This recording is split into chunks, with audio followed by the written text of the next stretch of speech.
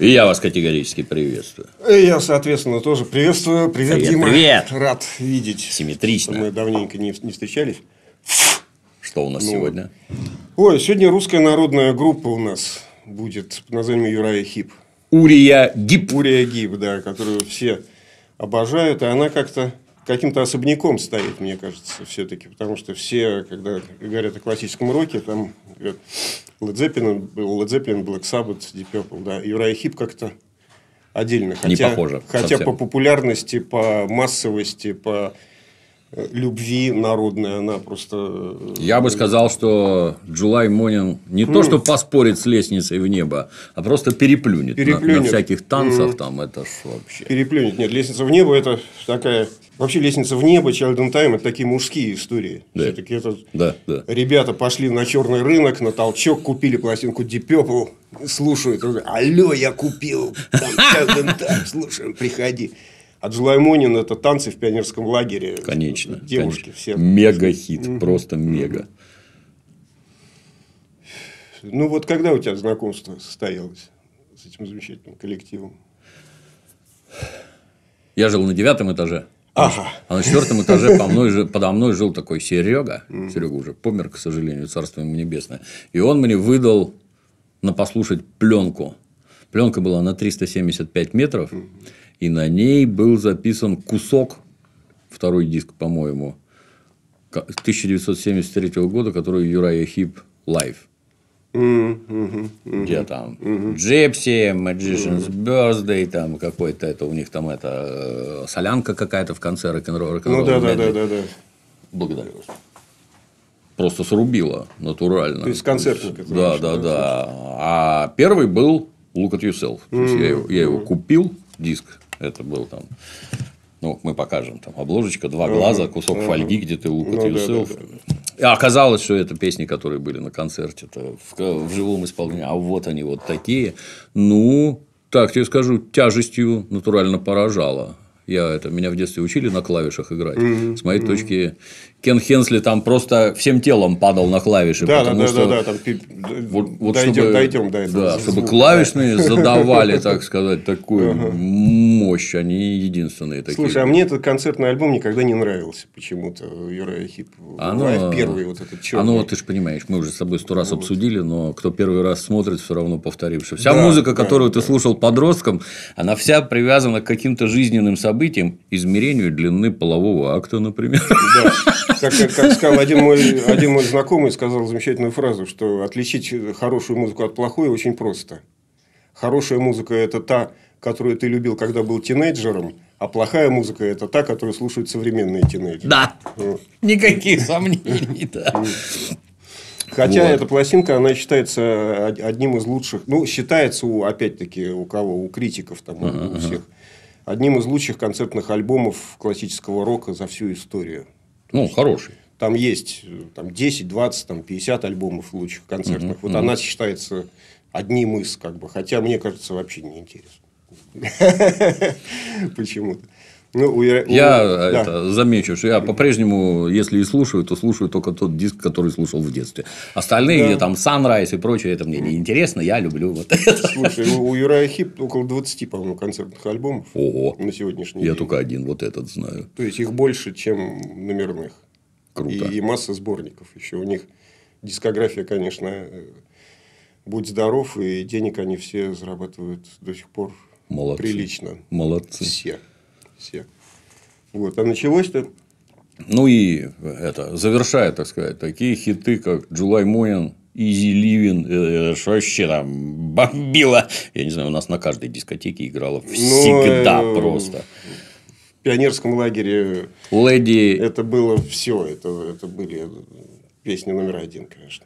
She came to me one morning, one Да, woman. да, Это да, задрало да. всех настолько, что во- вообще невозможно, блин. А сколько русских вариантов текста этой Да. песни существует? Мега хиты. Просто. Поймали Карвалана, Да. Луиса Карвалана, Луиса Карвалана, Нашел я тебя. чилийского вождя. Да, нашел я тебя босса и паршивый, и безволосый, и всю ночь тебя в порядок приводил. Очень смешно было. Ну что, с, с чего начать? Сначала и пойдем до конца. Начало это Клифф Беннет, такой э, английский певец, рок-н-ролльщик интересный, достаточно с очень мощным голосом. Дружил с группой The Beatles. Они ему подарили даже песню God You Get To Into My Life. И он ее записал, Маккартни ему помогал, он выпустил сингл. Мгм.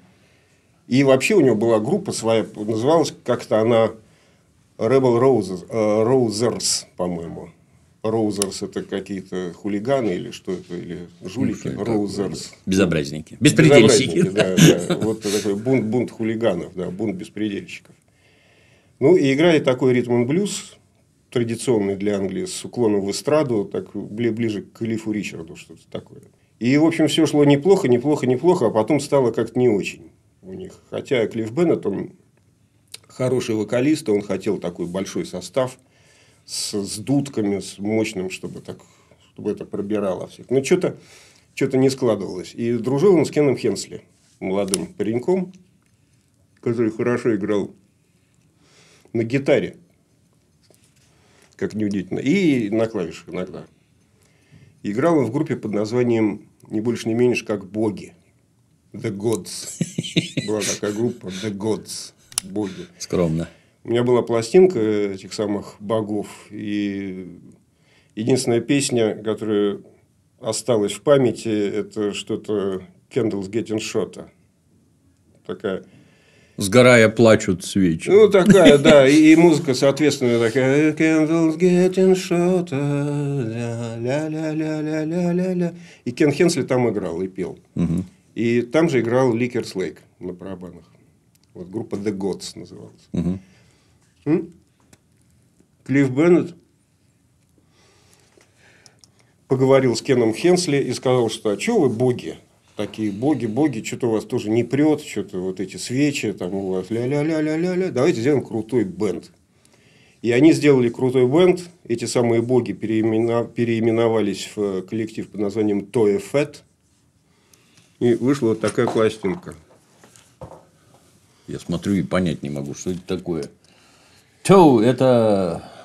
Это большой типа палец. палец, да, толстый. Да. Толстый, большой, отвратительная обложка совершенно. Омерзительно. Вот. Вместо башки. Да, и надо быть, конечно, совершенно отчаянным и упертым человеком, чтобы Может, рассчитывать это идиома какая-то? в Я- Англии. Я не знаю. Нет, я не думаю, не думаю. Это, это- это такой просто, как сказать, э, повежливо, выпендрёж. Это вежливо так. э, Вые- пендрёж. Вот. И надо быть, конечно, отчаянным весьма э, человеком э, и всей группой, чтобы рассчитывать на коммерческий успех в Англии в 69 году с такой обложкой. Потому что... Cover design by Hipgnosis. Это что? Так это видно. В группе Pink Floyd. Невооруженным глазом, да, видно, что это такая шизофрения, только гип- Hipgnosis. Ну прийти в и. Кен Хенсли и Ли Керслейк. М, м. Те же самые боги, только под э, другим названием. Ага.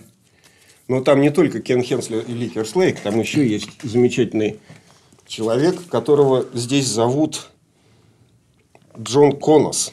Бас-гитара и вокал. Джон Конас. Хотя на самом деле это Джон Гласкок. Бас-гитарист, который после Туэфету идет в группу Джет Ротал. Хм. И очень хорошая пластинка получилась, несмотря на отвратительную обложку. Я до сих пор ее слушаю, и она просто вот э, одна из лучших, наверное, записей британского такого умного, тяжелого, прогрессивного рока 69 года. То есть там Хенсли здесь играет на гитаре, кстати. Вот он здесь как гитарист э, весьма и весьма блеснул. Хотя никаких чудес не показывает, но там с фидбэком, с- со всеми делами, все, все приемы гитарные того времени он освоил технически. И вполне, вполне себе хорошо играет. А поет Беннет мощным голосом, очень тяжелый, такой тяжелый прогрессив, несмотря на то, что короткие песни, но, они- но они очень, очень, прямо вот они аранжированы, они сделаны, они отточены, потому что у Беннета такая эстрадная все-таки школа хорошая, а эстрадная школа, она чем хороша, что там нельзя фальшивить. Там так все, все очень чистенько, чистенько. И В результате здесь вот эта чистота Беннета, так, такой перфекционизм и тяжелый рок. И все это вместе. И угу. все это очень умно, здорово, с ревущими клавишами тоже, хотя играет не Хенсли тут на клавишах, но тем не менее. Ну, и вторая пластинка уже, что называется, для комплекта Туэфет, где уже нет Хенсли, потому что он ушел в э, ансамбль, о котором мы сегодня будем, который мы сегодня будем демонстрировать. Мы говорить о нем особо не будем. Что это такое? Опарыши какие-то, нет? Это какая-то совсем уже билиберда по, по обложке. А по музыке она может быть даже интереснее, чем первый альбом. Какую-то кури... курицу доедают. Ну, какие-то, да, объедки. Какие-то объедки, объедки, объедки. Вот, хотя э, Глазкок здесь еще играет, uh-huh. Джет Ротал еще не состоялся для него, скоро состоится. Ну, очень хорошие пластинки, ТФ, это очень... Надо изучить. Рекомендую, хотя они достаточно редкие. Несмотря на то, что это переиздание уже новодельное, ага. а оригинальные стоят каких-то невероятных денег уже, и первопрессы их покупать. На самом деле, музыка хорошая, но не настолько, чтобы платить за нее там 500 евро или там 700 угу, за оригинал. Угу. Можно обойтись и новоделами вполне. К Кену Хенсли подъехал такой паренек э, по имени Джерри, Джерри по фамилии Бронштейн. Джерри, Бронза, который, да. Который Брон, который да. стал потом Брон. Уже тогда он стал Брон. Его папа занимался музыкальным бизнесом. Сейчас бы Троцкого звали, наверное, Тро. Тро. Лев Тро. Тро. Лев Тро. Лео Тро. Да, да, да. Вот. И этот самый Бранштейн, э, да, я сказал, что папа у него занимался музыкальным бизнесом тоже. И Бро, Брон решил продолжить дело папы, поскольку оно достаточно прибыльное, э, прибыльным оказалось. И пошел в эту сторону стал продюсировать э, хороших очень музыкантов, э, таких как Марк Лейбовец. Знаешь такого? Да все знают, кто такой Марк Лейбовец. Я только фотограф Абсолютно знаю. все знают. Из ЮАР паренек. Манфред Ман? Ну да, да, да. Из Йоганнесбурга. Замаскировался. Паренек из Йоганнесбурга по, по фамилии Лейбовиц, он же Манфред Мэн. И спродюсировал не пластинки его, а несколько синглов, э, которые вошли потом в пластинки Манфреда Мэна. Пять первых альбомов Манфреда Мэна я их принесу потом как-нибудь. Они очень... Не слышал ранее вот эти Манфред Мэн? Я ровно один знаю. Про Соловьев и бомбардировщиков. А, нет, и, это... и недавно я узнал, что главная песня, оказывается, ее сочинил Боб Дилан. Брюс Спрингстин сочинил. Какую, Извините, какую да. ты имеешь в виду главную песню? Какую, как, какую как песню? Ну, ты со, с маразматиком разговариваешь, не забывай. А, я 69, 63. Я тоже ничего не помню, на самом деле. уже, уже давно, долгие годы. Нет, ну, главная песня я имел в виду, там вот эти вот слови-бомбардировщики, вот эти все... Да я тоже забыл. Она, она про какой-то выезд на пьянку, где все выехали на пьянку. Да, да, да, это Брюс Спрингстин. Да, да. Это Брюс Спрингстин. Вообще, все главные хиты Манфреда Мэна – это песни Спрингстина, на самом деле. Как, как все замешано. Да. Spirits in the Night она Да, называется. точно, да. да это да, Спрингстин да. с первого альбома Спрингстина. И с первого альбома Спрингстина там три песни взяты Манфредом Мэном, которые входят в э, альбом э, «Соловьи бомбардировщики» и следующий альбом, этот самый «Roaring Silence», «The Roaring Silence». «Blinded by, by the Light», например, знаменитая песня, тоже, тоже Спрингстин. Это ну, для пластинки полезно название. Это обычно это Rolling Thunder, раскатистый гром, а тут mm. Rolling Silence, то есть раскатистая тишина. Да, да, да. Вот. И Спрингстин был не в восторге, насколько я знаю, от э, версии Манфреда Мэна. А, нас всех перло. Да, нас перло, потому что пафосные такие, с клавишами. А у Спрингстина они все рассвингованные такие, не то чтобы джаз-рок, но такие очень, очень живенькие такие все эти песни. Я принесу, кстати. Mm-hmm. Я люблю Спрингстина как ни странно. Мы остановились на Джерри Броне, да, да, который да, занимался да. Манфредом Мэном и рядом других исполнителей, в том числе фантастической совершенно группой, которую тоже я принесу потом Колосиум. Джаз-роковый бенд невероятный, где пел Крис Фарлоу, мой любимый вокалист. Это вообще это ядерная смесь просто из э, джаз-рока, там, фьюжн, тяжелого рока, блюза и, фантастической гитарной игры. Невероятный просто. И с атомным голосом Фарлоу. Там, там такая сирена. Ух. Вот Джерри Брон им занимался как раз. Мгм, мгм. И начал завлекать. Понравился ему Кен Хенсли, как... Ну, они дружили просто, как-то общались. И тоже, так сказать, предложение не блещущее оригинальностью. Давай сделаем крутую группу, заработаем миллион. Как, как в этом фильме «Итальянцы в России», я не помню, героя Миронова, как там звали? Не помню. Петя, Сережа, Саша. Андрюша, там. ты хочешь А- заработать Андрюш, миллион? ты хочешь заработать миллиард? Да! И с таким же предложением подкатил Хенсли. Хенсли сказал, да, конечно, конечно. И появилась группа под названием Spice. То есть специя по-нашему. Специя, где, которую организовал Мик Бокс, гитарист, и его, э, так сказать, э, знакомый, а, Пол Ньюман, бас-гитарист, Пол Ньюман, да, который потом в Вероихип играл довольно долго. И то ли приятель, то ли какой-то дальний родственник Нью- Ньюмана Дэвид Гарик, который Байрон потом стал. Потому что, ну, Гарик какой-то, что Гарик? Гарик, ты чё? я А Байрон, Байрон, другое дело, ё-моё, да. Хочется сказать, бля, конечно. Я Байрон, бля. Вот. Не просто там какой-то хрен собачий. Вот. И Хенсли. И появилась эта группа Spice, которая играла так себе, где-то, где-то, где-то.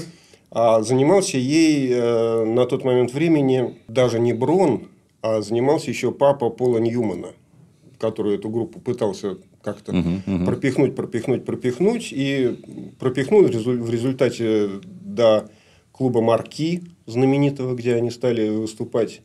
И там уже Брон взял, так сказать, Заслуживает внимания. да, это уже да, с Хенсли, тем более, уже все так все сложилось. И давай, давай, давай. И если бы не Брон, конечно, мы не знаем, как бы что это, во что бы это все вылилось, э, потому что для того, чтобы появилась группа, нужны деньги. Я, к сожалению, это знаю по себе уже, и, и- все это знают. Либо ты играешь, э, как группа Чаев, например, 15 лет просто играешь, а потом уже выходишь на большую сцену. Или как группа Аквариум, которая тоже 15 лет играла И никому не было за. 3 копейки. Нет, была нужна э, там в каждом городе 100 человек. Я знал студентов. Вот, и, и больше никто. Вот. Ну, либо такой путь. Вот 15 лет ты играешь просто так, а потом становишься знаменитым. Либо появляется менеджер какой-то, который вкладывает в, в деньги хотя бы в запись альбома, там, потому что это, это, это все не, не дешево. И тогда уже что-то там пойдет быстрее. Вот. То есть два варианта. Можно бесплатно, но долго. Можно быстро, но дорого. Вот. И появилась замечательная пластинка, конечно. Прекрасная. 1970 год. Я так понимаю, мы все называли ее по молодости very, very Eevee, very humble, да, very heavy, very humble. У меня такое ощущение. Ну, да, да. Ну, это разговорная так Да. сказать, форма. Вот. Отличная совершенно Отличная. вещь. Одна из моих, наверное, любимых у Юрая Хип. Э,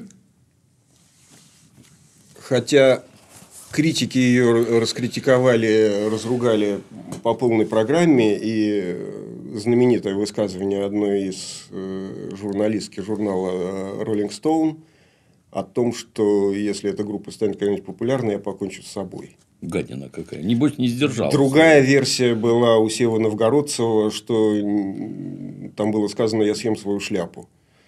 Ну, я не знаю, какая из этих версий правильная, но ни та, ни другая не, не состоялись. Потому что группа стала популярной, критик остался жив, или, или женщина-критик, я не знаю, кто там э, конкретно эту фразу знаменитую сказал. Gypsy. Прекрасная. I was Да. only 17. Да, вообще очень-очень-очень хорошая пластинка. Gypsy просто хит, который до сих пор играется на концертах э, группы Uriah Heep. И тут и Хенсли развернулся. Вообще Да, на- да. начало ломовое совершенно с этих аккордов на Хаммонде. Вот как ты сказал, когда, когда ложится человек на него. Он не ложится, там перегруженный Хаммонд. э, Очень модный был звук, такой перегруженный в смысле по звуку, с таким по- почти как гитарный перегруз на, на Хаммонде. Э, очень модный был звук, его все использовали практически, э, включая группу Soft Machine, э, которая играла джаз-рок с таким же перегруженным этим самым органом и Хаммондом, и, и не Хаммондом, и другими клавишными. Вот, но вот такой вот этот зверский перегруз на uh-huh. клавишах, он, конечно, Хенсли здесь выдал по полной. И отличился в партиях, потому что никакого вот этого вот этой билиберды такой, то, что называется, из-под волос. Угу. Значит, не было, а так все по-честному. Сильно, мощно и хорошо. И что бы я тут выделил? Конечно, Джипси, Walking in My Shadow песня. Дурацкий совершенно номер Комовой Мелинда. Вот выпадает. Да. Такие да. сопли с сахаром как-то непонятно. Да, Оказывается, не они сочинили. Это не они сочинили, да, это кавер. И Э, там какой-то антивоенный текст, который Хенсли очень любил, как, э, так сказать, борец за мирное существование всего человечества. И из-за этого текста они эту песню и взяли, которая совершенно выпадает и как-то странно. Но самое главное, что здесь выпадает, это э, совершенно невменяемое полотно под названием «Люси Блюз», которое написал Бокс угу. на стихи Байрона, на стихи Гарика. Гарика. Я бы сказал. Потому что это это Люси Блюз ужасное совершенно полотно. Это как бы попытка сыграть блюз, но настолько неудачная, настолько какая-то нелепая. Вот что выпадает. Даже Камувей Мелинда, даже пускай, так сказать, будет. А вот это Люси Блюз, это какое-то какое странное такое недоумение вызывает. Это что вообще такое? Это чё? Парни искали себя. Это что вообще такое? Это парни искали себя, но они себя нашли, уж, на, нашли уже и в Джипси, и, и в Walking on My Shadow, и, и хорошо. И вся вторая сторона прекрасная, и э, I'll keep on trying, там, и, и, и все прочее. А какого хрена этот Люси Блюз здесь? Ну, с другой стороны, это 70-й год Англия, там, там все любили блюзы, все играли блюзы. Как бы. Группа, которая не играет блюз, это вообще не группа. Поэтому, поэтому вот, да, что получилось, то получилось. Но зато Джипси и Walking in My Shadow и прочие, они, слава богу, эту этот ужас Люси Блюз они как-то нивелировали. Ага. И, и все, в общем, было неплохо. Пластинка очень мощная, очень хорошая. Конечно. Отличная, да, да, да, да. Ну и пошло дело дальше. Вот это вот прелесть.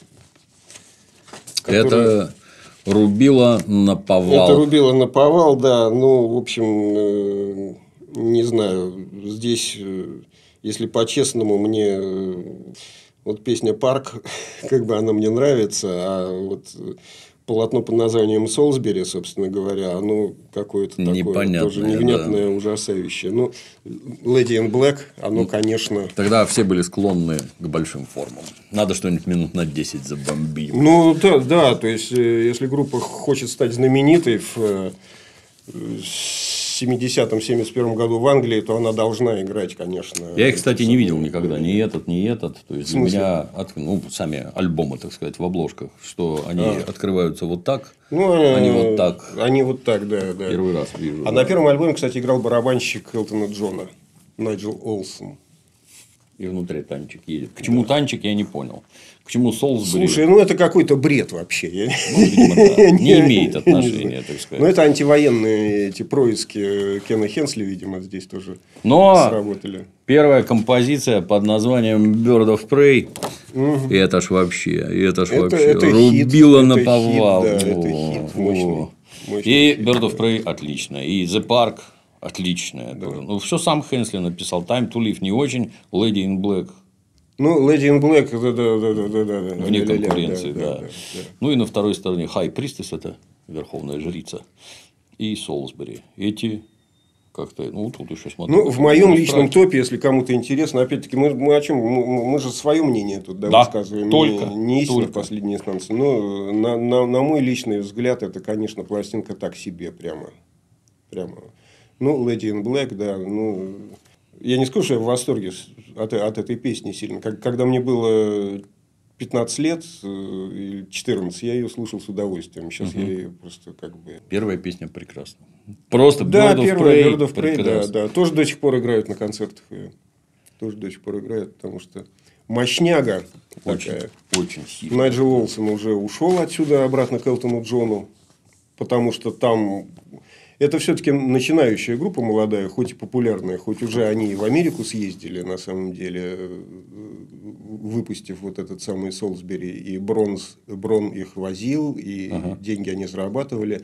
Но все равно это такое непонятное будущее. А Элтон Джон это уже Элтон Джон. Он уже был Элтоном Джоном, и уже там было все, все понятно. Поэтому Найджел Олсен туда отвалил. И барабанщик здесь... Вообще, через группу прошло какое-то безумное количество музыкантов через Юрая Хип. И Да. всех их и не упомнишь, только упертый фанат какой-то может... э. Я вот записал даже, как, как тут менялись барабанщики. Кит Бейкер такой некий э, сюда пришел. Отработал один альбом и тоже ушел. В общем, тут написано, что про что обложка никто не знает, и всех постигло страшное разочарование. Они сами не понимают, о чем это. Ну, я, я, я думаю, что это Хенсли инспирировал вот эти вот все военные штучки. Они же ан- антивоенные. Но это всегда давало чудовищную пищу для размышлений. Ну, что бы это значило? Ты врубаешься, не врубаешься вообще. Ну, и тут уже пошла тяжелая артиллерия. Да. Дальше. Дальше пошла тяжелая артиллерия. В том же самом году, что и Солсбери, они выпустили вот эту чудесную пластинку. Да, это то, о чем говорили. Два глаза, look at yourself, то есть посмотри на себя. И так, кусочек фольги, в котором ты на свою страшную рожу можешь посмотреть. Да, и она всегда мятая, эта фольга, Да, потому да, что да, да, да. так или иначе, даже в процессе производства она уже не, не очень ровная, и поэтому лицо получается ужасным. Как, как Ну, бы, как бы ты красив не был, глядя на пластинку Юра- Юрая Хип, ты будешь выглядеть ужасно. Ну и тут вот я бы так сказал, что вот здесь этот Джолай Монин выбивается, так сказать, из общего. Она э, лирическая, не такая. А все остальные, они вот с моей точки зрения одинаково хороши. Они настолько все суровые и забойные. Они блин. суровые, да, они, они все суровые. А Джулай Монин, конечно, не знаю даже, что сказать. Крутой, крутой был, да. Крутая песня, да, крутая песня. И... Я не могу сказать, хороша она или плоха. Вот что я бы хотел, хотел, хотел сказать. Она невероятным образом аранжирована. И тот же самый наш любимый, все это знают, Манфред Мэн здесь сыграл, сыграл соло на мини-мук синтезаторе в Джулай Монин. И Как Байрон- тесен мир. э? Слушай, ну вот как тесен мир. Да, и Байрон себя проявил как мастер фальцета невероятно. И как не пытается Берни Шау повторить сейчас. Нет, мы раскритикуем тут одну пластиночку, которую я принес, где Берни Шау там, так сказать, как он не... Не Хотя тужился. Хороший, да, вокалист, все, артист, прекрасный Берни Шау, но до Байрона, конечно, как до небес ему. В, смысле исполнения вот этих песен классических. Там свои, новые уже там, да, но там совершенно другая история. Вот. Tears in my eyes, да. Но первая песня Look at yourself вообще это убойная совершенно. Убойная, просто сбивает с ног. Я, я услышал первый раз эту песню, когда пришел к- в гости к одному из главных хиппи нашего города Гены Зайцева. Гене Зайцеву. И он включил магнитофон, как врубил вот этот Look at Yourself, первую песню, меня прям в диван вот так вжало. Я говорю, Гена, что это такое? Юра Хип, нифига себе. Блин. Это да, да. Love Machine очень классный рок-н-ролл такой, я бы сказал. Не то чтобы рок-н-ролл, но чистый ракешник. Здесь, здесь они как-то вот... э, С одной стороны, мы прогрессив такой, мы так- такие умные, вот, а с другой стороны, мы все-таки рок-группа. И мощно мы тут Знатно. Выдали. Долбили знатно Да, вообще. долбили. Это я слушаю целиком. Это мне сильно нравится. Блин. А я вот эти пластинки целиком не слушаю. Хотя все, все их имею и люблю. И особенно вот эту. А тут особенно вот эту. это был для меня удивительный момент, когда люди поют песни, называются «Демоны и колдуны». Визард – это волшебник, но не совсем, хор- Волшебник не совсем хороший. да. да. Вот. Когда про каких-то волшебников для меня это было сильно удивительно. Вроде взрослые мужики, какие-то волшебники. Но Ну, оказалось, у нас этот пласт культуры просто отсутствует. Ну, я не знаю, может быть... э,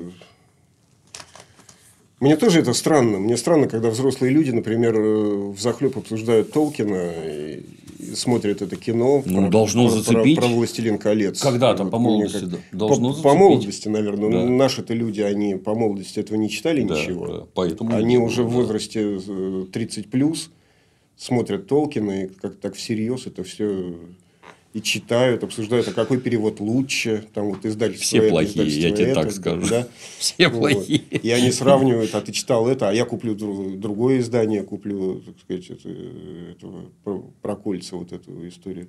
Я не знаю, я, я не, не осилил ни разу, я несколько раз подходил к этой книге, и я не смог ее, я читаю, ну, ну да, ну да, да, козленочек не пей из, из копытца, Да, да. в смысле, Иванушка, козленочком, козленочком козлен- станешь, да. Ну, ну, я, ё-моё, я это все, когда мне было пять лет, мне бабушка читала это все. Все проехали Да, уже, да. ну, я это, да. Однако вот, и слава богу, что я плохо знаю английский язык. Песни, Содержание слушать не надо. Я тебе как знающий относительно не надо знать про что песни. Это только портит все. Да, я бы, наверное, никогда бы не стал слушать этот альбом, если бы я понимал, о чем здесь вообще идет речь. Но сейчас немножко понимаю, потому что почитал уже тексты там и, все, и как-то для себя перевел это. Ну, ну, конечно, как песню это воспринимать вот эту вот эту вот, вот эту вот эти вот про волшебников колдунов как-то Тем не менее, если никогда не слышали, включайте песню Wizard и начинаете слушать. Музыка, Песня музыка, прекрасная. Музыка великолепна вся. Просто Поет отлично, играют От ловко. до конца, да. He was a wizard of a thousand kings. А ударник опять ушел здесь. Ударник опять другой. Опять- другой. Ударник из группы Cressida. Про, про- про- прогрессив роковая такая группа английская, очень хорошая Cressida. У них, по-моему, два альбома всего. Как это? Кирслейк. Нет, Кирслейк тут этот Гэри Зейн появился на бас-гитаре, которого током било где-то, я помню, в журнале «Ровесник» читал. Керслейк пришел сюда, да, Да. но, но на- начинал пластинку здесь Ян Кларк, вот этот самый из Крисида. Вот, и он даже сочинил какую-то одну из песен здесь, этот самый Кларк. А потом пришел Керслейк. уже Вот Визарда, на- на как, Визарда альбом, как да. раз и сочинил. Да. Да, потом уже пришел Керслейк, уже старый приятель Хенсли по так сказать, совместной работе.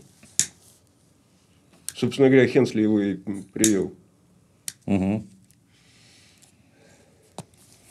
И сложился вот этот уже замечательный наш классический состав, можно сказать. А что касается песен, здесь моя любимая это The Spell, последняя. Да, Из, да, из, э, то ли из трех, то ли из четырех частей она. То есть, как, как считать она.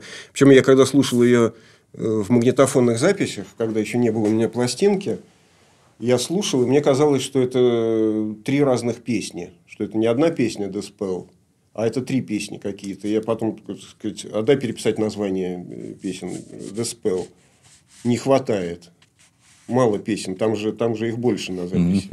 Это вот действительно те- те- для, для тех, кто не слышал никогда Demons and Wizards, послушайте. Действительно, ощущение такое, что вот это The Spell, монументальное полотно финальное, как будто там три разных песни идут. Причем там даже пауза есть в конце, когда переход на такой на веселенький вот этот э, финал.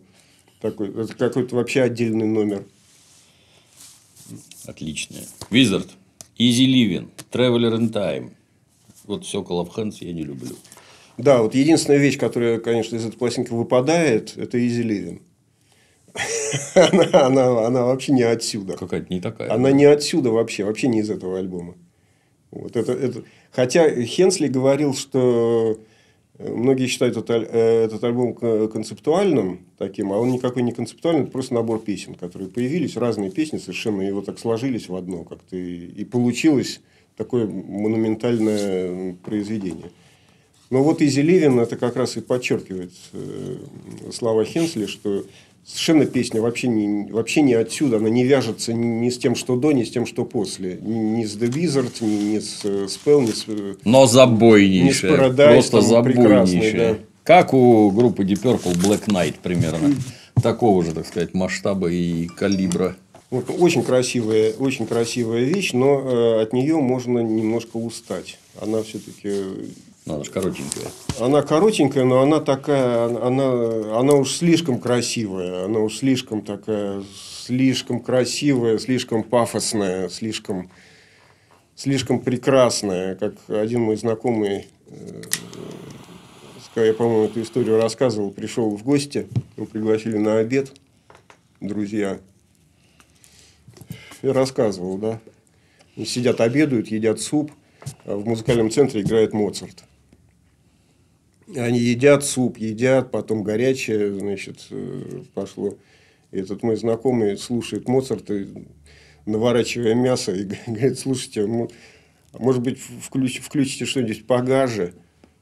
Как-то, ну, совсем.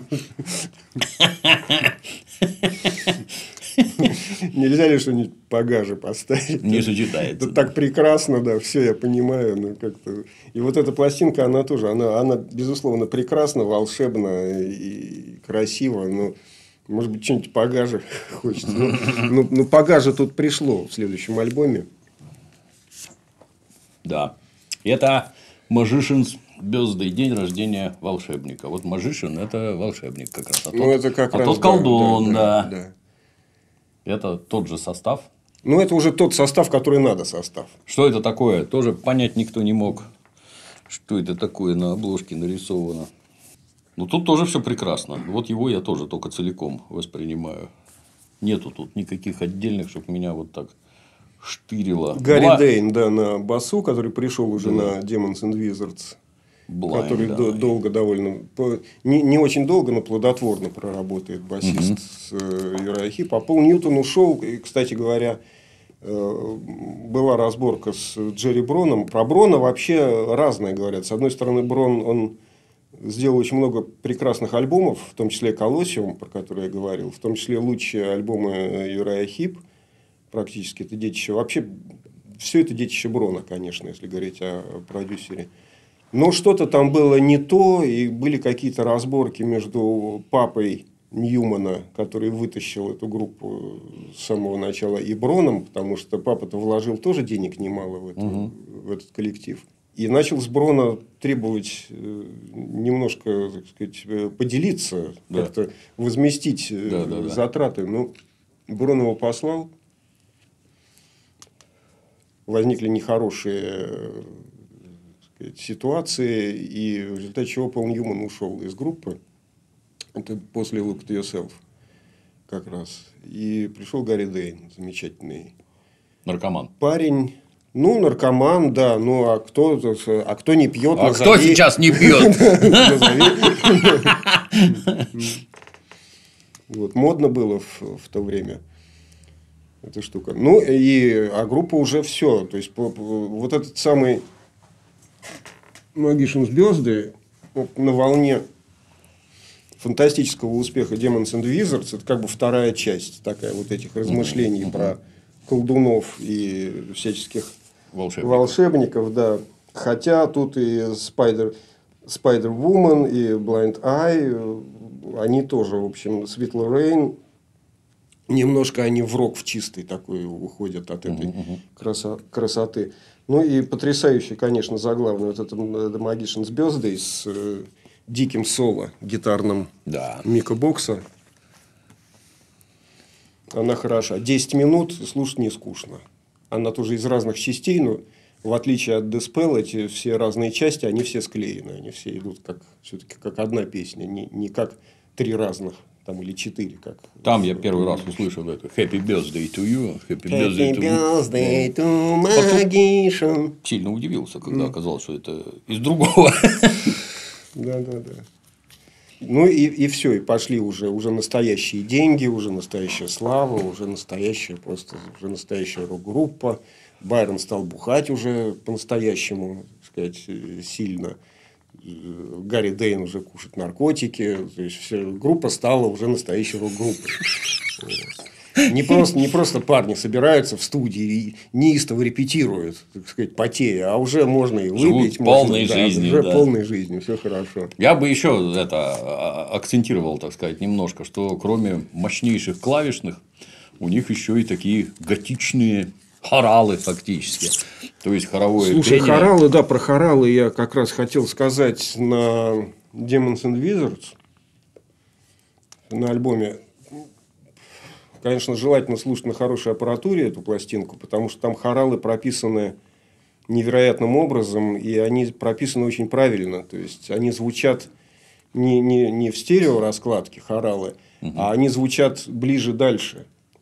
То есть, угу. когда, когда, ну, для этого на музыкальном центре этого не услышишь, а когда на приличной, более-менее, даже там не хай-эндовская, хай-файная угу. аппаратура, там нормальная какая-нибудь человеческая, даже там какой-нибудь там техник с хороший.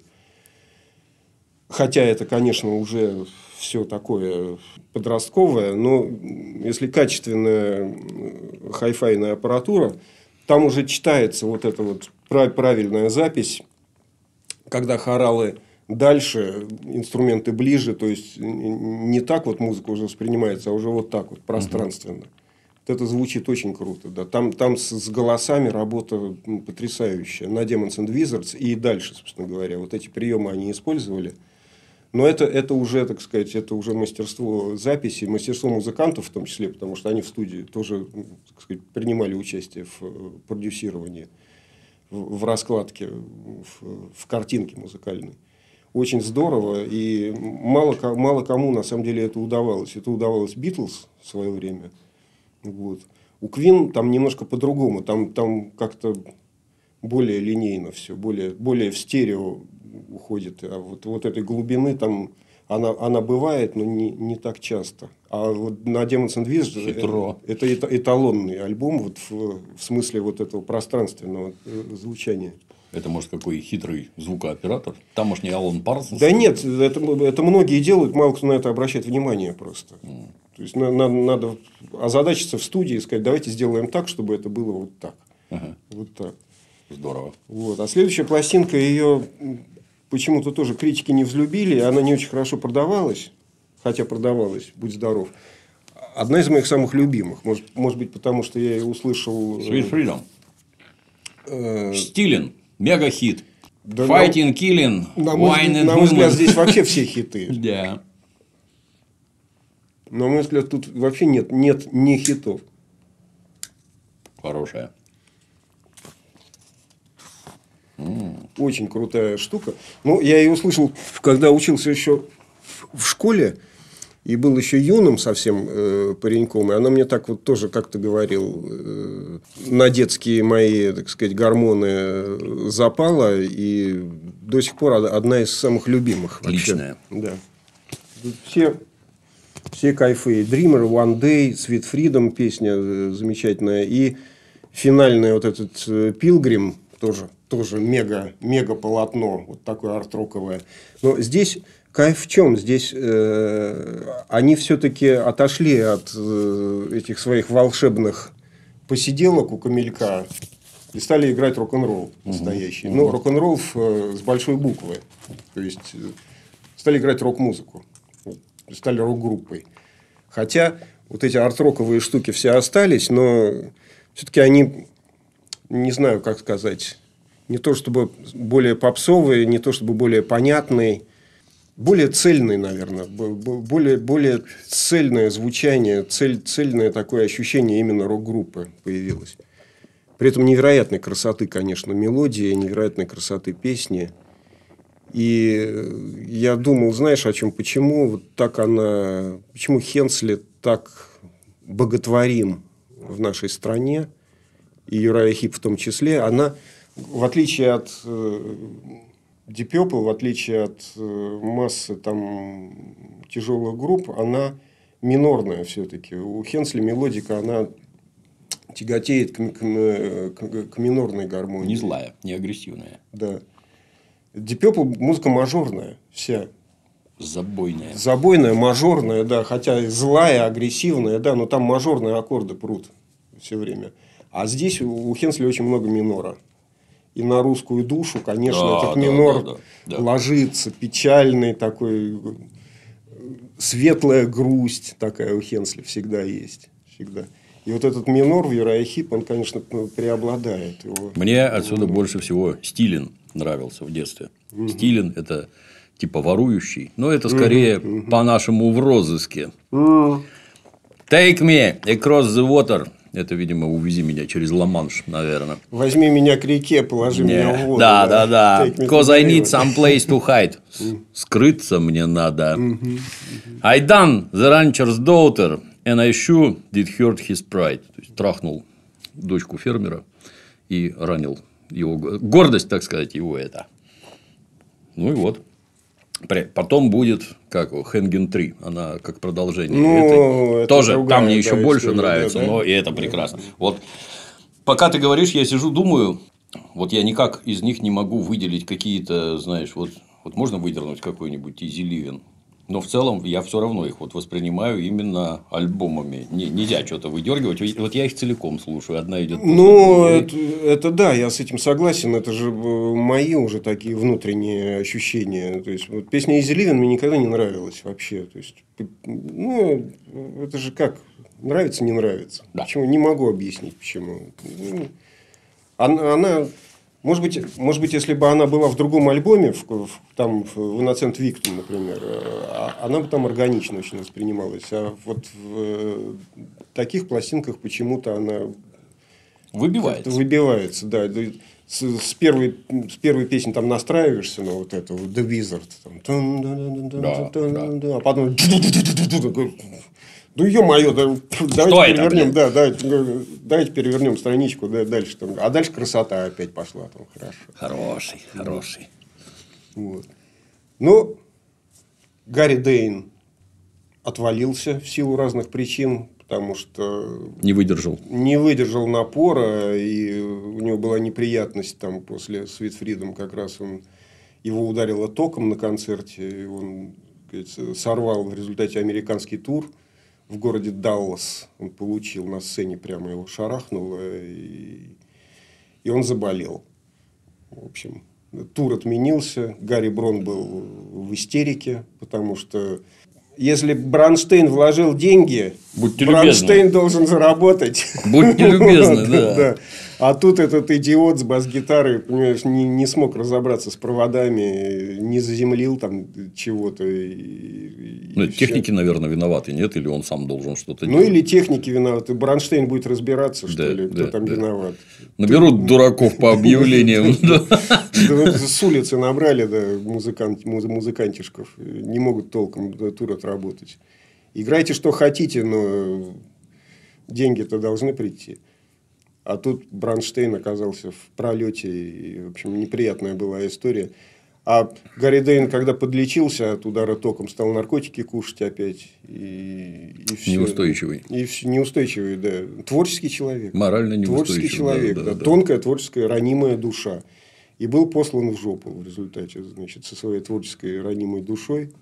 Ну, я вот уже, это знаешь, уже говорили, но я повторюсь, что уже когда с позиции возраста на это смотришь, а как бы ты себя повел, когда в 22, 23, 25 на тебя все это падает, горы денег, орды баб, Да, они молодые, это же молодые непрерывное ребята. да, удовольствие, да, и, да, что ты делать будешь? Да, молодые ребята совершенно, молодые Устоять мужики. да, невозможно. и как бы, не знаю, не знаю, меня миновала эта слава грандиозная. Я бы, наверное, умер был. Давно бы. Давно бы, да. Ну, есть, есть мужественные ребята среди моих знакомых и друзей, которые прошли эту славу с огромными потерями. Конечно. С огромными Да, да, потерями просто. И я могу сказать тем, кто сейчас начинает играть в э, группах и мечтает о грандиозном успехе, медные трубы это не, не пустые слова, потому что, в общем, люди умирают и здоровье подрывают очень серьезно и получают инфаркты и прочее, прочее, прочее. Это, это тяжело. Я не знаю ни одного из вот среди моих знакомых звезд, а их достаточно много, нет ни одного, кто бы благополучно перенес э, большой успех. Ни одного. Все пострадали Конечно. достаточно крепко. Ну, это по башке бьет. Достаточно крепко. да. В первую очередь. Бьет по башке. Это, кстати, вот, вот ты знаешь, когда э, на актерах очень сильно видно, актеров все-таки больше, что они там вот здесь себя безобразно ведет, там себя безобразно ведет. А это получается от того, что ты тонкая творческая натура. А внезапно получается, что ты в социальной иерархии поднимаешься сильно высоко. А поскольку ты не рос среди собачьей стаи, где на инстинктах понятно, кто тут главный, а кто не главный, ты никогда главным не был. И вдруг, когда ты становишься главным, а они тебя не слушаются по какому-то поводу, то люди постоянно впадают в истерики, срываются, скандалы всякие затевают туда-сюда. Не от того, что они такие мудаки. Хотя мудаки, конечно, тоже присутствуют Ну в достаточных количествах. Но это вот серьезнейшая психологическая проблема. Оно в тебе всякое порождает, всякое нехорошее. Я даже по себе вот, ты знаешь, я вот у меня сайт. На сайте у меня комменты, в которых я там 20 лет просидел. Я там царь, бог и воинский начальник. Что скажу, так и будет. Я, поскольку взрослый, я по себе просто вижу. А дальше ты выходишь на улицу, а там ты говоришь, что хочешь, а ничего не будет. Ну да. Что тебе харю разобьют. Да, там, да, да. Хорошо, если ты умеешь это отбиться и настоять на своем, а не умеешь, то что? И как? И тебя все время вот э, рвет, здесь у тебя какие-то обожатели, а тут пошел Ну нахер, да. блин, и ты кто? Это вот любимое. Да вы что, не знаете, кто я такой? Не знаю. Пошел нахер отсюда. Это, это удары по психике просто невероятные. Тут один мой знакомый в Фейсбуке написал, а, собственно, знакомый, замечательный писатель Шамиль Диатулин. Я открываю Фейсбук вчера, читаю, написал такую штуку. Я что, тварь дрожащая или право имею? Ответ. Тварь. Тварь. Спасибо, извините. В общем, молодому тяжело преодолеть это крайне непросто. Да, но я немножко забежал вперед с Гарри Дейном, потому что тут еще пластинка Wonderbolt вышла. О, да, да, да. принимал участие, которую все не любят почему-то. Ну, Все не а, я, а я люблю как-то, я не знаю, она, она не такая. а совсем не она, такая. а она, а она без выпендрежа. Вот, что- вот что отличает этот альбом от э, всех предыдущих. Что она совершенно без выпендрежа. Она по-честному сыграна рок-группой, которая играет рок-музыку. И абсолютно крепкие, хорошие, слушабельные, не раздражающие, а приносящие удовольствие песни. Да. То есть такой, с одной стороны, какой-то такой развлекательный альбом, но, но, но он не, не ля-ля-ля, а ля-ля, усю такой развлекательный, а крепкий такой тяжелый рок. Хороший, мелодичный, придраться не к чему вообще. Как, Отлично. как бы такой звезд с неба не хватает, но когда хочешь послушать хорошую, кайфовую музыку, просто вот я ставлю Wonderwall. и- Тут у меня любимая Dreams. Да, And then we dance on silver. да, есть такая. Хорошая пластинка. Почему-то ее не любят, не знаю. Критики ее ненавидят вообще, что это все это закат, это, это неинтересно. Ну, просто другая, Слушатели тоже как-то. я не Другая. знаю. А я учился в 10 классе и с удовольствием этот Аналогично. Слушал просто. Аналогично, да. переписывал, там ходил с магнитофоном маяк и дома. Мистер наслаждался- Wonderworld, да, да, и наслаждался этой прекрасной музыкой. Ну, Все тогда еще, помнишь, все на платформах, это были страшно модные башмаки на огромных подметках с высоченными каблуками. У меня тоже такие были. были. Ну, правда, у меня были у остроносы. меня были тоже, да, с платформой. Да. Конечно, это хорошо. Брюки клеш, что характерно. Да. Ой, И красота. У меня есть. Тогда еще сейчас можно было расстегивать рубашки. Сейчас это будет воспринято Ну, как это, это- чистейшая это, пидорастия. Это, это закос под э, Роберта Планта, Да. конечно, здесь в Да. чистом виде. Да. Такой, да. Потому что как, как Юра и Хип не пытались стать группой номер один, э, и, и они косились на Led Zeppelin все время. Потому что Led Zeppelin были Кто уже, на них не косился? уже боги, да. И вот этот закос под планта, конечно, тут в полный рост присутствует. Ну, и э, вот штука, которую, опять-таки, э, те самые критики считают едва ли не лучшим альбомом Юрая Хип. Не знаю, насколько он... У каждого свой лучший альбом Юрая Хип, на самом деле. А у некоторых и по нескольку штук. Return to Fantasy. Очень хорошая. Критиков очень- можно просто послушать. Критиков Ну, можно да. простить. Ну, вы Да, они, считаете, они вот так. зарабатывают деньги, да, и Да. им это все. Да не, там вот это как с кино. Мы с тобой тоже вроде обсуждали, что критики это люди в кино. Они безумно насмотренные, mm. безумно. Ну, это как это, знаешь, ты кино смотришь и сразу Им понимаешь, скучно, что да. будет дальше, Да, потому что да. все это по единому шаблону следует. Херня какая-то. А ты, подросток, увидел это в первый раз, у тебя там э, душевный шок и трепет, как какой-нибудь, это, знаешь, безумный Макс с Мелом Гибсоном. Ну да, Помнишь, да, да. воин дороги? Да, да, знаешь, да. трэш, натуральный. А, разинув рты все смотрели, блин. Как круто, как круто. А вы говорите трэш. Нет. Критиков можно просто послушать. Ознакомиться с мнением, так сказать. Return to Fantasy, блин. Ну, тут за одну песню можно это Да. купить сразу просто. Такое и, полотно. И, деньги будут потрачены не зря. Одна песня стоит э, всего альбома, хотя альбом очень хороший тоже в целом. Очень крутой. Но тут, тут я не знаю, э, тут кончилось что-то... Кончилась какая-то подростковая такая, все-таки подростковое рвение, подростковое горение какое-то, вот оно ушло, и, и группа настолько стала уже крепкой, профессиональной, взрослой. С одной стороны, это круто, это все читается, то есть тут уже, тут уже все, никаких э, ожиданий неожиданных каких-то таких царапок, которые кого-то могут раздражать, кому-то наоборот нравится. Ох, как неожиданно, как сделано, какой тут... Находка. Да, находка какая. Никаких нафиг находок вообще. То есть, откровенный такой просто крутейший музыкальный э, такой удар от суперпрофессионалов. То есть, все, вот это супер профи просто работают. И, и ничего. С одной стороны, круто, с другой стороны, вот что-то не хватает какого-то вот этого дыхания молодежного. Угу. Ну, это, опять-таки, мои такие уже сумасшедшие требования. Но все равно музыки. круто. Очень равно круто, круто, очень да. круто, очень, да. Одна песня стоит всего альбома. Очень блин. удачный альбом. Очень. Очень удачная. Да, очень удачная. Ну, и опять-таки тут э, один из самых моих любимых, наверное, музыкантов в рок-музыке, которых человек 100, я могу назвать своих самых любимых, Джон Уэттон пришел, бас-гитарист, Мгм. который играл много где, в том числе King Crimson, в том числе Roxy Music, в том числе суперская группа невероятная, которую как-нибудь я принесу тоже в виде пластинок, это Family. Убойная совершенно команда, вообще убойная, вообще невероятная. То есть способности как инструменталиста никаких сомнений не Да, вызывают. и как вокалиста, и как инструменталиста, и как композитора, и как аранжировщика, и как такого крепкого, полнеющего, добродушного мужика, вокруг который, который яв- является... Вот как я говорил про Олега Валинского, который в э, группе кино являлся таким центром, как бы... д- д- я говорю, мы с тобой обсуждали, по-моему, или, или нет? Нет.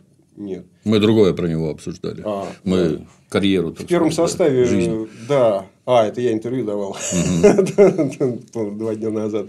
В первом составе группы кино играл у нас э, Олег Валинский на ударных, который сейчас стал большим человеком. Он и тогда был большим человеком внешне, а сейчас он стал большим человеком вообще.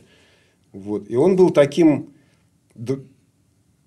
сильным, крепким папой, вокруг которого мы с Виктором Робертовичем себя чувствовали комфортно, защищенно во всех смыслах и, и спокойно.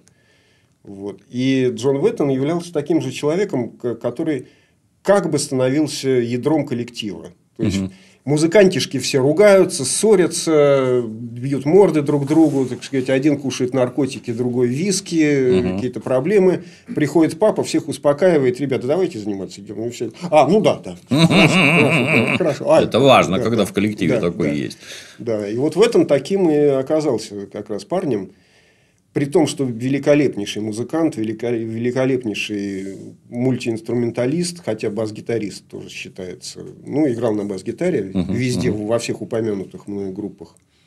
Но оказался летуном страшным, да, потому что мы насчитали, что мы насчитали Roxy Music, Family, King Crimson. Crimson, да. Еще была такая группа Mogul Trash, которая у меня тоже есть, тоже с участием в этом, джаз-роковая.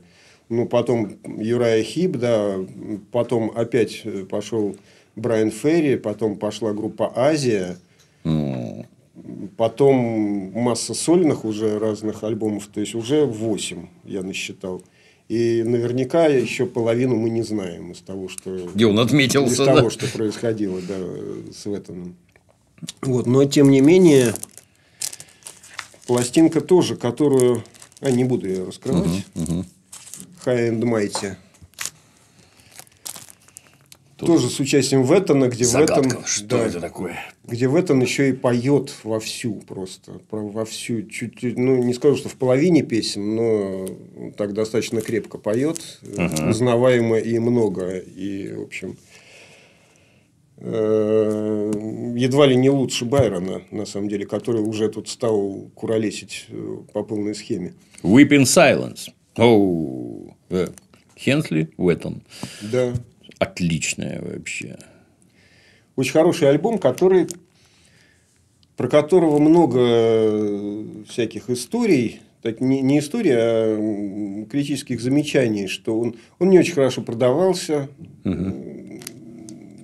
не очень хорошо его раскручивали, потому что Брон, честно, уже я хотел сказать, честно говоря, я, я с ним не, знаком, с Броном не был и даже близко с ним не стоял рядом. С Хенсли только стоял.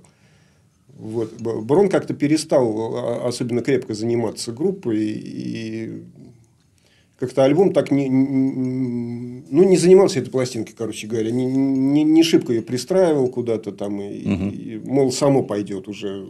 Столько выпускал Юрая Хипов, что уже паровоз должен сам все тянуть, уже что ими заниматься, и так все знают, и так все любят, уже э, сами купят. А сами как-то не очень покупали, потому что, во-первых, здесь нет никаких уже демонов и, и, и визардов, и, и никакого такого вот арт-рока уже здесь нет, даже близко. Здесь просто такие роковые песни, дико мелодичные, тот же самый минор, который мы все любим, да, да, размышлительный такой, печальный вокал Веттона, который печальней в тысячу раз, чем э, Байрон и Хенсли вместе взяты. Веттон всегда вообще любые его записи послушать, это один из самых грустных голосов мира. Вообще такой, такой баритон.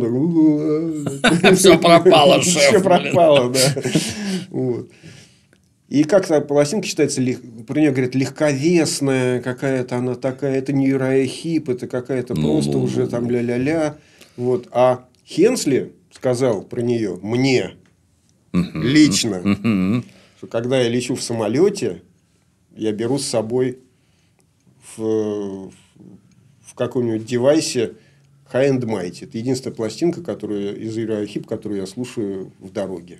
Круто. Вот. Так что Круто. имейте в виду про High and Mighty. Важный момент. Ты про Кена Хенсли. Ну. Как-то раз улетал я из аэропорта Домодедово. Улетать надо было утром, поэтому надо было заночевать рядом. Я, значит, там поселился в гостинице рядышком возле аэропорта и пошел вечером пожрать перед отбоем. Пришел в кабак, сел спиной ко всем, сижу.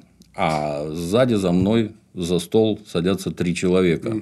Два мужика, одна женщина. Мужик англичанин. Ну, и они там бесе- беседуют про концерт какой-то. Ну, я сижу, уши грею. Че вы там такое говорите? Вот. А тетка, значит, э, зовет официантку, говорит, девушка, девушка. Та подошла, значит, официантка, она ей что-то сказала, а англичанин говорит, а как ты ее позвала? Она говорит, ну, девушка, girl. Говорит, как? Это, ну, по-нашему, э, то есть, если для них девушка, то это по-нашему будет слышать девка, подь сюды. То есть, вот это оскорбительно там. всё. Как? Герл! Я думаю, кто это там такой? Поворачиваюсь. А это значит Хенсли сидит. Ну, я сказать, что обалдел, ничего не сказать. Ну, ты опять-таки, для нынешних поколений не понять, для нас это были, ну, примерно как боги. Не, не в том Ну смысле, да, что да. они там божественная сила, но ты никогда в жизни их не увидишь, и вообще такого просто не может быть. Вот. Смотрю, Хенсли. Вот, вот. И тут он, значит, это, где тут нофиг попудрить можно, и ушел в сортир. Я встал, подхожу, и мужик остался, и тетка ушла, и остался мужик один. Я говорю, извините, а это Кен Хенсли, а мужик такой вытаращив глаза. Дмитрий Юрьевич, это вы? Угар был. Полный угар. В общем, вот я тоже Кена Хенсли видел живьем. А, а второй раз видел, у нас есть этот, знаешь, на Садовой какой-то хард-рок кафе. Да, да. Он приехал там выступить, я побежал. Какое-то странное заведение. Там ребра очень вкусные, свинячьи. Это на Невском, да?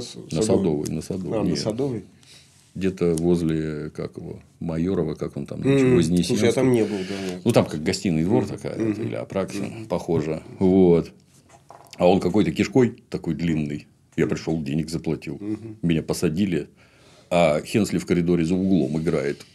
А тут у вас телевизор висит, можете смотреть его по телевизору. Блин, какое-то издевательство вообще. Ну, дедушка уже старенький был, так, он только вот клавишные у него там песенки пел но все равно приятно. Да. И еще один момент.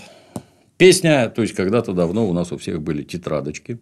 Да. И мы в тетрадочке да, старательно да. переписывали названия песен, тексты, все это там пытались перевести. Ну, как это, как, как и сейчас да, дети, да, да, когда да. они меня в переводах поправляют, они мне все время сообщают, что я смотрел в словаре. И вот это слово переводится не так. Объяснить детям, что переводят не слова, а смыслы, в общем-то, ну, да, невозможно. Да. Дети, а, ну, понятно, то есть сам дурак, видишь, у тебя слово неправильно переведено.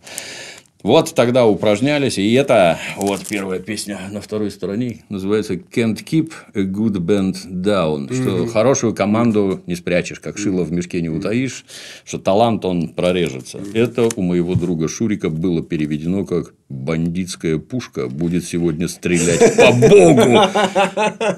Где вы это брали? Как вы такое придумываете? Бандитская пушка. Это, видимо, вот это. Это очень кайфовое название, на самом деле. Надо запомнить. Отличный. Ну что, поехали. И Weeping Silence гениально. Да, Weeping Silence супер. Жалостливая такая. Господин вокалист был уволен из коллектива за безобразное свое пьянство. И кто-то... А, Мик Бокс говорил, я недавно прочитал, что... Причем очень странную фразу сказал Мик Бокс. Говорит, что совершенно, в общем, терпимо, когда на концерте пьян барабанщик. Ну, или гитарист. Что, на мой взгляд, вообще невероятно, когда барабанщик пьян, вообще ничего не будет. Вообще. Не, не попадет, музыка, да. музыка стоп сразу. Да. Все, да. да, но Мик Бокс сказал, когда барабанщик пьян, или там гитарист, или басист, что тоже невероятно, это ничего. Но когда вокалист пьян, это невыносимо. Вот, на мой взгляд, совершенно все наоборот. Что Главное, чтобы ритм-секция была трезва и работала, да, и да. гитарист играл. И тогда будет музыка. А вокалист пускай пьян, что хочет делает. Воет. Мик Бокс сказал, что это невыносимо. А Мик Бокс сам, кстати, отличался же. Он любитель э, выпить был. Он однажды упал со сцены в туре. Знаешь эту историю? Сломал две руки. О, боже. Во время концерта. Упал со сцены, сломал обе руки. Вот это приключение. Да. Это, вот эта история. Да. Будет о чем вспомнить на свалке, блин. Вылез на сцену, доиграл концерт. Монстр. И потом доработал тур с двумя сломанными руками на уколах каждый раз. Ну, как бы вот. вот. Монстр. вот парень... это ответственность, вот это я понимаю. Парень, парень знает. И перед братвой, и перед музыкой. Да, парень знает толк да. в выпивке, но даже он не выдержал, сказать, Байрона. Был уволен, да. И с большим удивлением я узнал, что на место вокалиста претендовал, э, то есть гру, не претендовал, а группа рассматривала Ковердейла.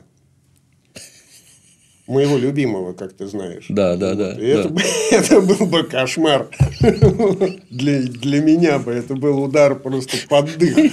Здрасте, посрамши. Уж кого-кого. Не ждали. Но он же вообще не похож. То есть не, он в, не похож, не в стиль абсолютно. Он не похож на Юрая Хип ни, ни, Никак, никаким совсем, местом. Да. Никаким местом. То есть, когда под план закосил, там хоть да, это, волосатость. Да. И рассматривалась также фигура, о чем я не знал раньше, даже недавно я прочитал, рассматривалась фигура Яна Хантера из группы, которую я упоминаю каждый раз, когда сюда прихожу, Мод де Хупл. Угу, угу. Вот. Очень хороший музыкант, прекрасный автор – но как вокалист для Юрая Хип я не уверен, что он бы потянул вообще. Потому что он очень хорошо поет, но у него все-таки вот диапазон не, не, это, не, не такой. Вот, он, он очень кайфовый. При, Муддехопл принесу, поговорим. Очень, да, очень прямо, очень большого кайфа группа. Вот. И, но ни Ковердейл, ни Хантер, слава богу, не попали в коллектив. А попал парень, который работал в э, Германии. Вообще с Германией очень плотная связь у Хип, потому что Хенсли, помимо Готс, помимо Тоефет, он э, достаточно много работал в Германии, играл с музыкантами группы «Вирус» немецкой, про которую мы будем упоминать в разговоре о крауд-роке. Uh-huh, uh-huh. Вот. И даже выпустил пластинку, которая называется «Weed». Она Трава. «Weed». Хенсли с немецкими музыкантами. А? Трава. Ну, вероятно, да. да. Uh-huh. Я, я не знаю перевода. Weed. Трава, да? Ну, W и E. Да, да, да, да. да. Weed. Вот. И у него с Германией очень э, крепкие, так сказать, в Германии были пущены корни у Хенсли. Этот самый вид, у меня была пластинка, я ее слушал, ничего интересного в ней нет. Ну, Хенсли, да, Хенсли играет и поет, все, ну, ну как-то, ну, песни такие, как бы не такие. Группа «Вирус» интереснее сама по себе. Возможно, сложившийся коллектив, где невозможно было себя, там, это, свои дарования проявить. Нет, это был собран под него, как раз был коллектив, да, вид. Вот. Но группа «Вирус» сама по себе, которая две пластинки всего выпустила, она интереснее намного. Тоже я ее принесу. Германия, она же как это, как его, то есть Британия, она, во-первых, относительно небольшая, а самое главное, что там очень мало площадок было, где можно было собрать много народу. Но там зато все переиграли. Yeah. Начиная, от чего, от чего, все, от, Beatles, там, от чего все хотели в Америку? Страшно богатая страна, огромные помещения, все эти Мэдисон Сквер Гардены, стадионы и прочие, и прочие, все стремились на заработки. А кто не мог в Америку, те в Германию. Те в Германию. Потому что в Германии, в Гамбургах там и прочее, там, блин, гастроль просто непрерывная была. Они там деньги зарабатывали. Вот. Да. А в Германии была такая замечательная группа под названием Lucifer's Friends. Mm-hmm. Вот она. Смотри. Я почему-то все время думал, что она просто Люцифер называется. Mm. Друг Люцифера. Да, Lucifer's Friend где пел прекрасный певец под названием... По фамилии. Каким? По фамилии под названием Джон Лоттон. Лоттон, да. Да. да. И надо мной там в комментарии кто-то похихикал. Тут по фоткам не опознать. Так, а что хихикали? Когда я назвал его лучшим голосом Европы. Ну, он очень крут. Очень. Он и был лучшим голосом в Европе, потому что какие-то там проходили конкурсы, какие-то опросы в музыкальных журналах. Э, значит, кто там у нас номер один, кто номер пять. И угу. большинством голосов был признан Лотон в Европе как вокалист. Хочется задать вопрос, вы каким местом слушаете, если не понимаете? И... То есть, вот, ну, кого взять на замену вот так вот воющему, в хорошем смысле, да. Байрону? Вот кого? Да, а Лотон это такая золотая... Чтобы он не выпал. Да, это такая золотая глотка и достаточно послушная. Ну, вот первый Lucifer's Friend, э, у меня есть вот эта пластинка, она такая прогроковая, совсем прогроковая, а совсем-совсем прогроковая и совсем-совсем фьюжн с невероятным просто пением Лотона, это пластинка под названием «Банкет» Lucifer's Friend.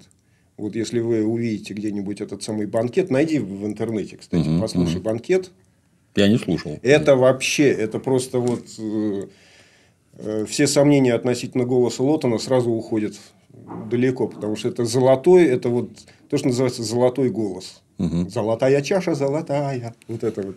Вот. Но там, там просто вот это, это вот какое-то божественное, божественное сверкание такое. Вот, прям, прямо вот, я не знаю с кем его сравнить, уж точно не с Ковердейлом. Уж, уж, Абсолютно уж другой. точно. Абсолютно. Да? Вообще ничего общего нет. Хорошо, что Ковердейла не взяли. Ой, хорошо. Все вздохнули с облегчением. Вот. Ну, вот он, конечно, вот банкет это, это все. Ну, и пошли уже пластинки, соответственно, с этим самым Лотоном. Обложка похожа на Magician's Birthday. Да. Похоже, да, но музыка не похожа. Абсолютно. Совсем. Музыка уже совсем не похожа. Firefly – огненная муха, то есть по-русски светлячок. Огненная муха лучше звучит. Да. Это хорошее название для рок-группы. У них как-то странно. Butterfly – масляная муха, это почему-то бабочка.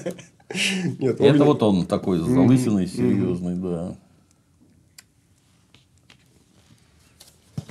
Тут начинается с безусловнейшего хита под названием Хенген 3. Хенген 3 это виселица, на всякий случай. Как про опять-таки... Не, не плакучая ива. Нет, нет. Как проскочить мимо... Он в розыске. Ну, как, как всегда, там, стилен, да. Да, да, да. 3, Как проскочить. Отлично вообще. Я в машине ее слушаю постоянно. Вот она у меня просто мега-хит. Красавчики. Просто Ну, красавчики. Да, ну, ну, ну, парень, э, вокруг которого группировалось все, и который всех успокаивал, и, казалось бы, был таким центром притяжения под названием Джон Веттон, отвалил неожиданно. Я говорю, летун. Человек, который долго нигде не задерживался. Никогда. Это ж этот. Тревор Болдер. Болдер, да. Это я впервые увидел имя Тревор. Он постоянно фигурирует в GTA, если ты играешь в компьютерную игру, там тоже негодяй. Тревор, блин, редкое имя достаточно. Вот. А Болдер, он играл с Дэвидом Боуи, моим любимым, в группе Spiders of Mars. Да. И очень, играл очень хорошо. И вписался в группу прекрасно, потому что его манера, вот этот многонотный бас, бас, который играет не функцию, а все время играет соло где-то сзади. Как во, во всех... Вообще все альбомы Юрая Хип в отношении баса, они, мне кажется, похожими, хотя совершенно разные басисты. А вот эти партии басовые, они такие, они все очень насыщенные. Они, там очень много всегда нот играется в басу. И, и Болдер также вписался, абсолютно стал, стал играть так, то, что он... Единственное, в этом выпадает, как ни странно, потому что он как-то конкретнее все время, поконкретнее Талант. играл, да. Мог свое привнести. Меньше нот, но больше смысла, да. А все остальные там... такие. И вот Хенген 3 раз. И песня под названием Симпатия. То есть симпатия тоже забойнейшая, хорошая. Обожаю просто и ту, и другую.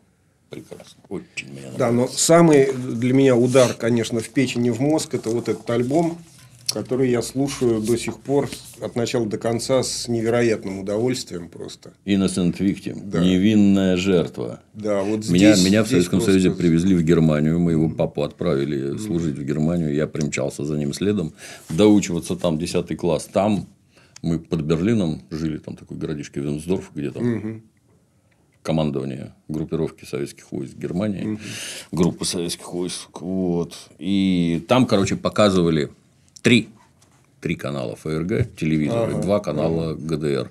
Телевизоры глушить было нельзя, тем более на чужой, так сказать, территории. Поэтому смотреть можно было, как это дети нынче говорят, невозбранно. Ага, Вот. И я включил телевизор, и тут же первая песня была, которую я увидел, это была песня под названием Free Me. Free с этим да. самым нашим красавцем.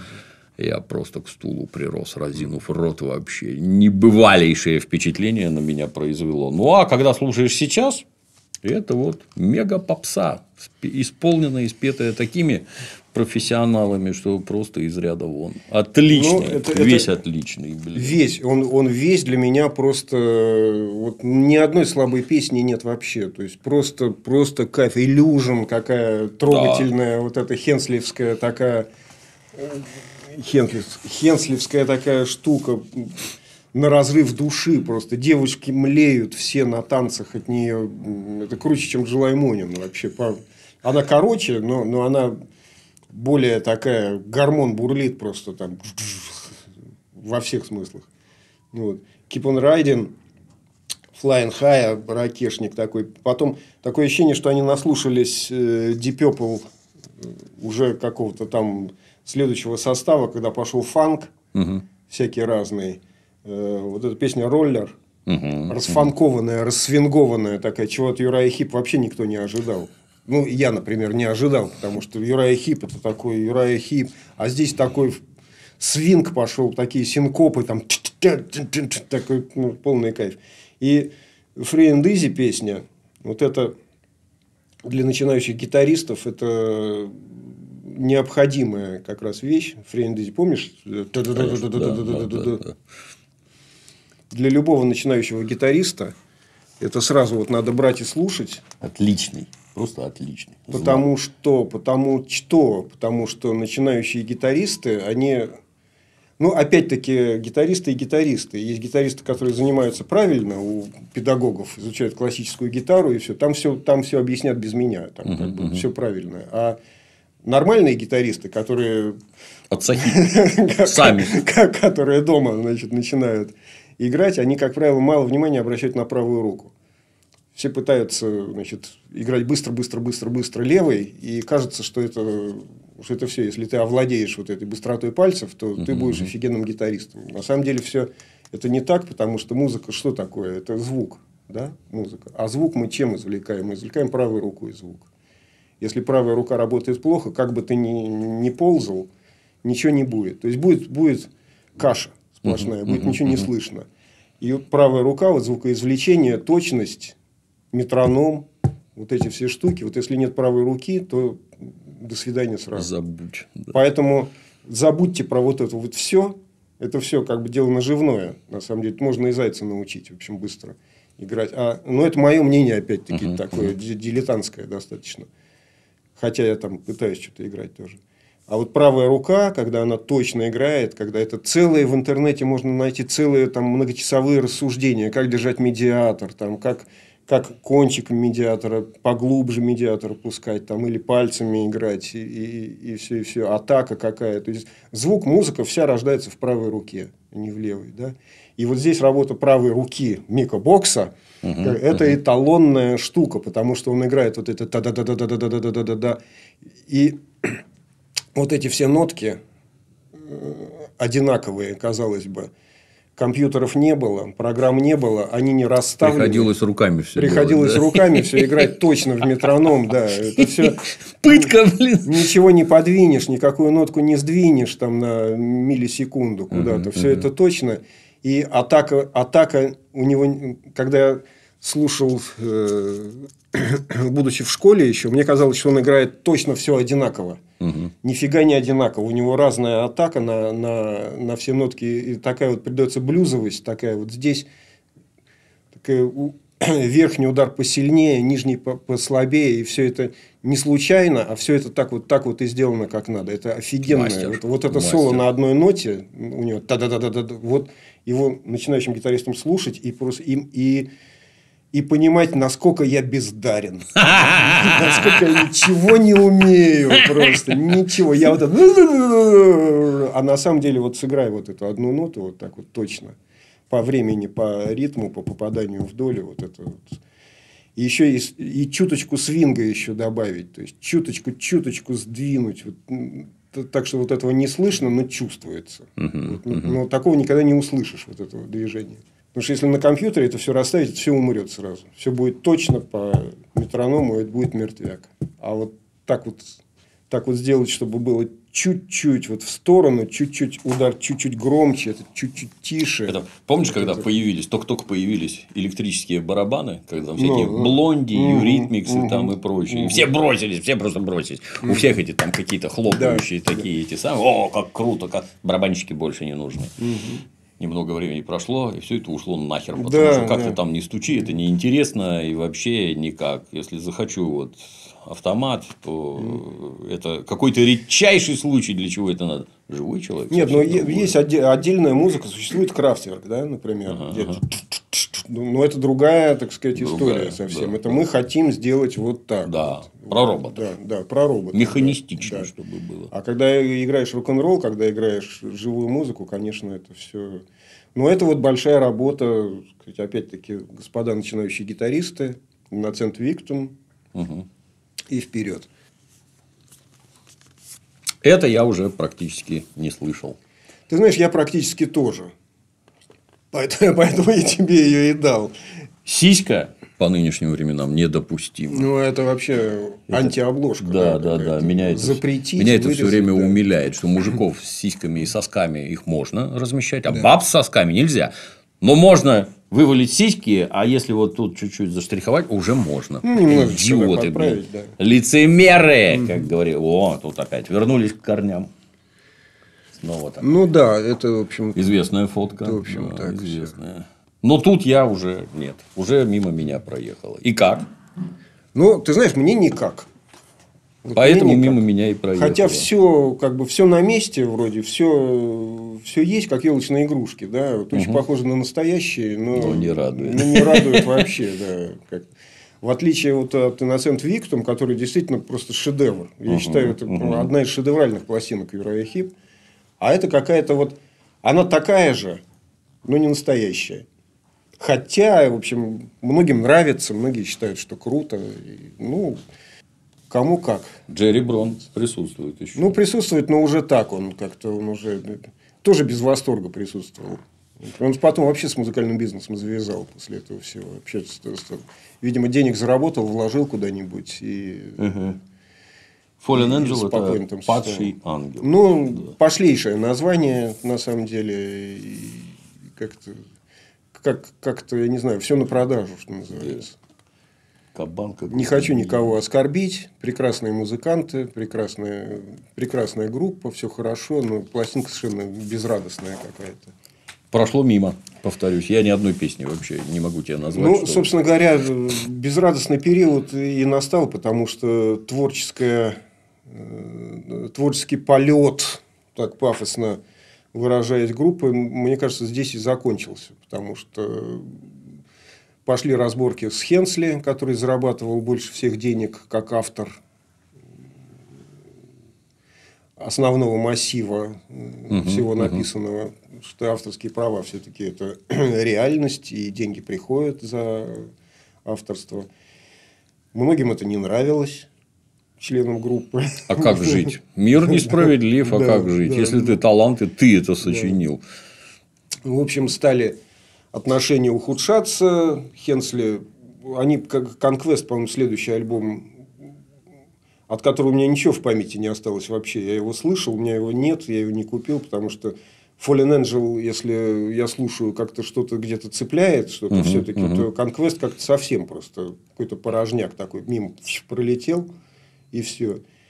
И я даже не помню, там Хенсли играл или не играл, по-моему. Он же, походу, еще пару сольничков записал, по-моему. Так да, и там? Байрон записал э, сольнички, и Хенсли записал пару сольничков. Proud, proud words on Да, dusty да, shell. да. Гордые слова на пыльной Да. полке. И тоже надо сказать, что ни Байрон, ни, ни, ни Хенсли как-то сольнички. Но это мое тоже, так Мгм, сказать, вкусов- моя вкусовщина. Как-то они не это самое. Не шибко зацепили. Ну Не да, ну, ну да, музыка, да, да, да, ну да. поет, играет, все, все на месте, ну как бы могло быть, могло не быть, ничего в общем в с мире, ног в не сшибало, изменилось, да, да, да. Потому что Байрона мы любим за другое. Хенсли мы тоже любим за другое, не, не за его. И, кстати, при, при всем так сказать, пиетете, при признании заслуг Хенсли, даже и, и поздние его сольные выступления как-то они, не знаю. Он, выходит- он, он приезжает, он же много раз был в России, Да, да. и что удивительно, что он действительно зарабатывал больше всех, и деньги достаточно любил всегда, и человек такой серьезно привык к хорошим гонорарам. В Россию он приезжал за какие-то смешные деньги всегда. То есть, Ну, уже жизнь вот так сложилась, да. Да я- вот это вот да, деньги. я много общался с устроителями концертов э, в нашем городе. Я не буду это, как, не буду называть имен, но многие талантливые исполнители из нашей, так сказать, молодости, они за пятерку баксов приезжают, за пять тысяч долларов. Да. Ну, плюс тебе оплатили Ну, перелет, проживание, кое-кто, еду. кое-кто и за тысячу приезжал. Вот. Вот, да. И, в общем, люди говорили, что на кого бы позвать? Ну, а Хенсли позовем, всегда приедет, сыграет, без вопросов. Вот. И за, за какие-то смешные деньги, действительно, он приезжал, играл с большим удовольствием. Ему очень это нравилось. Но он, он, он выходил на сцену и играл July Morning. Да. И, все, больше ничего не надо никому. Потому что ну, новые песни его, да, он играет тоже. Но все ждут, все равно все ждут July Morning. Конечно, да. Поэтому да. И он ушел просто, да, потому что у него свои творческие амбиции, у него свои взгляды на музыку, ему это все стало неинтересно, и, и все. Он ушел, стал слушать and Mighty у себя в наушниках, в самолетах. Были же нормальные песни. Были же нормальные песни, действительно. А нормальные песни кончились, потому что пошла уже совсем другая история, которая мне, честно говоря, вообще не интересна. Хотя вот эта пластинка «Абоминок», которую у нас не шибко любят люди, Мгм. Я только название да, знаю. на Западе она э, считалась каким-то прорывом просто группы. То есть, супер, наконец-то Юрая Хип после своих этих самых конквестов, Ага. своих терок, наконец-то вдруг выдали крутейший альбом.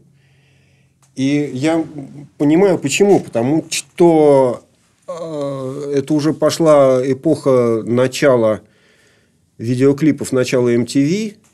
И это чисто уже MTV-шный продукт такой пошел дальше. Вот Абоминок, следующие вот эти вот штуки Head First. Ну, тут какой-то... Абоминок Питер- номер Питер два. Голби, не знаю кто. А Боб Дейсли, ты смотри. Да, да, да, да, да. да. Это вот Абоминок номер два, можно сказать, то же самое ровно, абсолютно та же самая музыка. Это в чистом виде MTV-шная, американская такая, американизированный рок. Тяжелый рок, аор, такой стадионная группа, типа там форенеров всяких и, и- и прочих-прочих. Такая бессмысленная и беспощадная. Но очень круто сыгранная. Очень качественно сыграно, качественно записано. Не придерешься ни, к- ни к чему, но таких групп полно просто. Я, я- я их даже я их не запоминаю. Там все- Head fir- head first это по-русски вроде очертя голову. ти- То есть, когда Ну, бросаться там как угодно, головой там. вперед, блин. Я не знаю, все эти Пойзоны, все эти остальные какие-то там э, Синдереллы и, и- и прочие. Похоже, да. Ну, они, они как бы разные, да, но они- смысл-то один. Собственно, клип на MTV в красивых позах, э, так сказать, и стадионный концерт какой-то для тинейджеров. И вот уже баблом. И вот уже бабло, да, и все. И, в общем, это уже такая тиражная, конечно, история. Но- Грустно. Но группу нельзя... Ну, а что грустно? Группу нельзя обвинять ни в чем, потому что это суперпрофессионалы, это крутейшие авторы, которые выдают каждый год по блоку песен новых, поди, поди сочини. То есть, в молодости это легко делается, а чем ты, чем ты старше, тем сочинять, в общем, труднее становится, потому что ну, не потому что маразм, а потому что э, вот один мой знакомый музыкант, который работает в очень популярной группе, всем известный и уважаемый, и хороший, не буду ее называть на, на всякий случай, сказал, что ты знаешь, Леша, я, вот с меня требуют новых песен, а я не понимаю сейчас, что я могу сказать людям в формате песни. Я не понимаю. Я много чего могу сказать в разговоре, я много чего передумал, много чего знаю, много чего видел, много чего слышал. Но вот в этом формате три куплета и припев, говорит, я не понимаю, что я в этом формате могу сказать. Это же какая-то ерунда. Это когда мне было 17, 20, 25, в формате песни я мог что-то выразить. Какую-то глупость свою юношескую. Ну, это А сейчас- тебя прет и из тебя прет. Да, да. Да. Нет, прет, прет, да, но, говорит, вот все то, что я знаю сейчас уже про людей, про Да, мир, да, про да. государство, вот что я могу сказать в, в трех веселых куплетах и одном припеве? Что это же смешно, как-то нелепо даже. Поэтому я сейчас Конечно. практически ничего не пишу, потому что писать какие-то глупости я просто не могу, мне не позволяет уже как-то Мне сов- кажется, оно, совесть. оно двоякое. Ты знаешь, это, во-первых, наверное, возможно, это самое главное. Во-первых, когда проходит юношеский задор, он проходит потому, что в тебе гормон больше не бурлит. То есть, вот тестостерон в таких этих количествах не вырабатывается. Я, например, сейчас сильно громкую, борзую, резкую музыку я пару песен могу послушать. Дальше она меня просто утомляет. Не хочу, блин. А вот чтобы девочки пели жалостливыми голосами, это я могу слушать бесконечно. Это явно какие-то гормональные изменения, потому что из тебя уходит агрессия. А агрессия, она, ну как, как и все, диалектично. С одной стороны, это нехорошо, что ты на людей бросаешься, а с другой стороны, тебе есть что сказать Ну постоянно. да, да, поспорить, Ты, ты да, и словами. поспорить, доказать свою правоту. Да. А сейчас говорит, Это ну, раз. Что я а второе, да. да, жизненный опыт, и если мозг-то есть, как там мудрость приходит с годами, ну, правда, как правило, годы приходят одни. Ну, да. Но если мудрость пришла, действительно сказать нечего. А самое главное, а зачем? А зачем? А вот э, не то, что нечего, а зачем? Да, вот да, от- да. отсутствие этого зачем? Вот зачем я буду спорить с кем-то? Идите нахер. Да, да, да. Поэтому, да. А люди, которые каждый год блок выдают песен, это мастера такие, да, то есть Конечно. уважение Да, вызывает, да, да, во всяком да, случае. Другое дело, что мне это не нравится музыка вся, она, она мне скучна просто, потому что она похожа одна, один альбом на другой абсолютно. Как воробей. Видел одного, считай, что видел всех, блин. Да, да, да, да, совершенно, правильно. Да. Да. Вот. И, в общем, на мой взгляд, Юрахип там закончился уже вот пе- перед конквестом. То есть, конквест такая роковая вещь. Ушел Хенсли, и все. И пошел американский абсолютно ну, это тоже важ, важнейший да. момент. Вот, да. на мой взгляд, в развале групп, я уже не помню, говорили мы с тобой про это или не говорили, вот когда разваливаются наши любимцы, ну, mm-hmm. типа там Битлз, например, mm-hmm. ну, сразу понятно, mm-hmm. какие песни сочинял Маккартни, mm-hmm. какие песни сочинял Леннон, и кто mm-hmm. дальше что ну, делает. Да. И вот да. Харрисон, да. а вот Ринго Стар, да. самый да. скромный парень, да. так сказать, ну, тоже что-то сочинял. А вот какой-нибудь Лед Зеппелин, а вот что у Планта, а вот что у Пейджа, а вот какой-нибудь Пинк Флойд, что там у Уотерса, а что у Гилмора. И все время получается, да-да-да, безусловно, есть какой-то вот типа Хенсли, есть mm-hmm. какой-то мега-талант, mm-hmm. но вот такое вы можете делать только вместе. Да, и Ринго да, Стар, да. который ничего не сочинил, mm-hmm. он нужен, потому что без него у вас ни хера не получится. Он да, там вносит, да. мы творческий процесс изнутри не видим, но когда вот коллектив, и там такой хитрый сплав получается, да, и конечно, в результате конечно. вот этот сплав дает такой. А поодиночке конечно. нет, парни, оно не такое. Набери вокруг себя 10 гениев, а вот этих нет, и получается да, не так, да, блин. Ну и пластинок масса вышла у Юрая Хип. Очень смешная вещь вот эта вот Celebration, где они записали старые песни хитовые, самые главные, в новом составе. То есть, вот он и Human Bird of Prey, Sunrise, Stealing, uh, The Wizard, Free Me, Free and Easy, Gypsy, Look at Yourself, July Morning, Easy Обалдеть. Living, Я такой даже не слышал, блин. Они Дайте же, срочно они взглянуть. записали блин. вот в этом самом новом составе.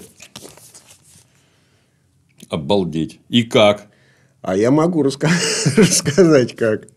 Кто такой Фил Лэнзон? Берни Шоу, это, ну, я ходил, они к нам приезжали, да, я да, пошел. Да. После этого я перестал ходить на концерты. Ну, я видел один концерт их с Такое тоже. порно, блин, да, ну вы да, че вообще? Ну, нельзя. Вот как да. какой-нибудь этот Стив Морс, угу. который, в моем понимании, играет местами получше, чем Блэкмор. Ну, вот где песни Блэкмора, он там не выпендривается. Но он в другой а... технике совсем. Он современный гитарист, да, потому что Блэкмор все-таки в, да. в старинный. Да, да, да. Но он наяривает, да. вот, вот там все как надо. Какой-нибудь Highway Star, там, вот все да, как надо. Да не выпендривается, себя вообще никак не обозначает. Вот так вот надо эту песню играть, я ее так играю. Где его, там совсем другое, блин. Но оно же другое, так и это, ну, ты ж не Байрон вообще никаким боком. Вот Лоутон, он не Байрон, а зато он петь умеет еще лучше, чем Байрон. А этот вообще никакой. Не знаю. Я был страшно разочарован. Нет, он хороший. Почему? Он профессиональный певец, хороший. Но, Безусловно, но, но другой. Но так это все. То есть искренние тонкие песни, э, осмысленные, превращены в какие-то коммерческие конфетки, абсолютно Надо... лишенные, лишенные смысла всякого. Надо послушать. Как он поет Джулай Монин, там ухохочешься. То есть, он, он показывает свой голос. Ага. Сразу представляешь его в паучьих позах каких-то на сцене. То есть, как, такой второй Ковердейл еще да, и да, хуже да. просто. просто. Понабрался. И вот он, он, он себя демонстрирует, Берни Шоу здесь. Не хочу обидеть ни, ни, никого, опять-таки, хотя обижаю. Да? Это мое впечатление от, от э, пластинки. То есть ну, он... Все хиты собраны. Да, Это, да, как говорится, да. от тех же щей, только гуще влей, видимо, получается. Да, да. И вот такие какие-то красоты. Меняет мелодию где-то немножко. То есть формально мелодия сохраняется, но, но она меняет немножко. Негодяй, так, блин. Э, э, Причем не, не от того, что он не может ее спеть, он прекрасно ее может спеть, а ему кажется, так, так будет лучше. Вот угу. так красивее немножко. Там в полутона уйти, где-то усложнить ее немножко зачем-то, непонятно. Лишние звуки какие-то добавить, типа о там неожиданно что это? А, а это лишний раз пропеть еще. Что это? это еще про... Там еще пропеть немножко. Ну, 40, 40 лет рока. Да. То есть, это парни уже, так сказать, подводят да. итоги. Celebration это праздник, В общем, они наверное. попытались чуть-чуть улучшить то, что было и так хорошо. Но, как выяснилось, что лучший враг хорошего, конечно. Хотя многим нравится тем, кто не, не слышал там Я ранее, не слышал, ранние слушай, пластинки. Надо, надо да, послушать, да. надо немедленно ну, послушать. Вот, ну вот молодежь, которая ранние пластинки не слышала, может быть, им это нравится. Но, на мой взгляд, это ужас, потому что э, какое-никакое, а все-таки это искусство, Юра Ахип. Все-таки Хенсли, Бокс и все остальные, они занимались искусством. Они делали от души кайфовые вещи, которые их самих волновали и трогали. А это чисто коммерческий продукт такой чисто. Причем он такой назойливо коммерческий, такой вот улучшенный, красивый такой July Morning. Такой, сейчас мы вам сыграем. Такой, как надо. Такой, и uh так не надо. Не надо. Ну, и вот самый, конечно, апогей этого всего. Пластинка, которая мне нравится, на самом деле. Аутсайдер. Это у нас 2014 год. Ага. Но это в чистом виде американский такой тяжелый рок, э, не зверский, не металл, да, такой с, с, с этим самым, угу. с, с хрипением и, э, и кровью. Угу, угу. А тяжелый современный моторный американский рок такой вот такой для всех, который всем всем понравится. И, и так я, в общем, с удовольствием его слушаю иногда раз в два года. Угу. Но это уже, конечно, не, не тот Юрай Хип совсем, который... Даже построенные они, видишь, вот микбокс посередине, mm. он там главный совершенно очевидно. Ну, он, в общем, главный, да, конечно, да. он главный. Он замечательный гитарист, замечательный музыкант, и автор, и шоумен, и э, как угодно. У него манера, которую ни с кем не спутаешь, свой звук, который ни с кем не спутаешь, это самое главное для музыканта. Потому что музыкантов хороших, мы говорили, музыкантов консерватории каждый год выпускают сотни да. прекрасных да. гитаристов, которые сыграют все, что хочешь. В любой ресторан приди в хороший. Прекрасно исполнение. Там стоят такие монстры на сцене, которые все тебе сыграют. Безо всяких все, шуток монстры, да, да. да. Специально все, обученные, угодно. умелые, да, блин. Да, да я бы даже сказал, талантливые. Да, Но да, только да, в исполнительстве. Да. А сочинить что-нибудь да. и забацать это. Корпоративные группы такие. Я, я такие видел, таких музыкантов на сцене. И певцов, в том числе на корпоративах, которые выступают. То есть приходит группа, там, и компания платит деньги, они все, что хочешь, тебе сыграют. Любую песню. Начиная от группы Браво там, и заканчивая White Snake. Пожалуйста заплатишь сплешу. Боярин, ты напой, а мы подхватим, блин. Заплатишь сплешу на капоте, это называется. Как таксисты говорят. Поэтому, да. Ну, это вот такая, да, история. Ну, все когда-то проходит, да. Но это работа, это музыканты, они же ничего больше не умеют, в общем-то говоря, и не хотят, им нравится это. А это самое главное, если нравится играть, ну, и хорошо, и пусть играет. И обвинять его в чем-то это глупо и смешно. Ну... Что, обвинять в том, что мне ваша музыка не нравится. Ну, не слушай. Ну, не слушай, да. Не слушай, блин. Но другим нравится, да. Знаешь, это вот... Музыкант играет, и все. Особенно да. с появлением интернета. Это же, ну, там все время вот ко мне постоянно бегут люди, вот, и сам ты меня раздражаешь, и, и то, что ты делаешь, не нравится, и то, что ты говоришь, не нравится, дорогой. Зачем ты сюда пришел? Жизнь короткая. Я не хожу туда, где мне не нравится. Ну, вот да. Вообще. Я хожу туда, где мне интересно и нравится. Че ты, блин. Я приводил, по-моему, фразу Дэвида Боуи, да, который сказал э, какому-то журналисту, он сказал, что я очень рад, что моя музыка вам не нравится. Я не для вас ее писал.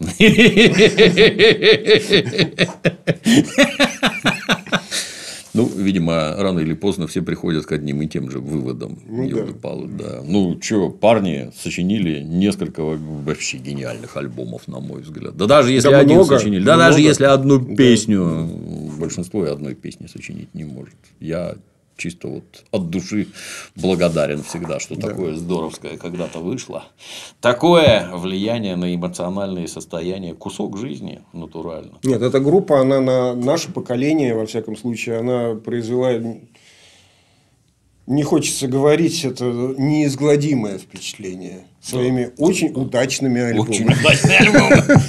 И то, что вот ты сказал, что музыкант играет, а это, блин, я тебе доложу, я всю сознательную жизнь, большую часть, я на работу ходил строго зарабатывать деньги, угу. чисто рационально, блин. Я угу. четко понимал, что если я пойду на инженера учиться, угу. а потерянное время и зарплата в 120 рублей, я не пойду. Угу. Я пойду грузовики водить. Угу там денег гораздо больше, умение, я не знаю, там в течение полугода получается, а дальше только зарабатывать. Ну, да, да, да. А тут я токарем, а здесь я слесарем, mm-hmm. а здесь я еще что Я все время ходил зарабатывать деньги. Я не могу тебе сказать, что мне это нравилось. Mm-hmm. Я, конечно, пытался там во все вникнуть, полюбить это дело. Но это было зарабатывание денег. И только к 40 годам в жизни получилась возможность заниматься тем, чем я хочу. Угу. То, что мне доставляет удовольствие. А за это мне еще платят деньги. И в этом случае получается, а мне вообще не интересно, сколько платят. Если я с этого жить могу, угу. то я считаю, что вопрос уже закрыт. И это в моем понимании, очень большая жизненная удача, что ты да, смог конечно, найти то, что конечно. тебе нравится, тебе конечно. за это еще и платят, блин. Вот за это и выпьем. Да. да. За парней. Продолжают бомбить, кто не помер, и нас радовать. Молодцы. Спасибо, Алексей. Спасибо, Дима. Опять бальзам на сердце. Да, спасибо. Всем пока. На сегодня все. Приходите еще.